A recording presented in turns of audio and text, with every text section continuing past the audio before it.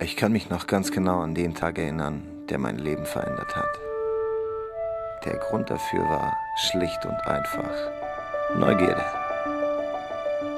Ich weiß, an diesem Tag sah ich zum allerersten Mal in meinem Leben zwei Boxer. Und der einzige Gedanke, den ich hatte, ich wollte so werden wie sie. Groß, stark und selbstbewusst. Naja, und doch, wie so oft im Leben, schien das alles nur ein weiter Traum zu sein. Oder doch nicht.